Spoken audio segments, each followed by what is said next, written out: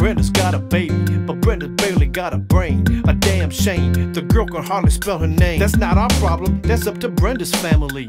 Well, let me show you how it affects our whole community. Now, Brenda really never knew her moms, and her dad was a junkie, putting death into his arms. And it's sad, cause I bet Brenda doesn't even know. Just cause you're in the ghetto doesn't mean you can't grow.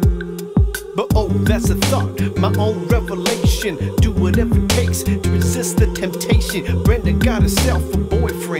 Boyfriend was a cousin, now let's watch the joy in. She tried to hide a pregnancy from her family, who really didn't care to see.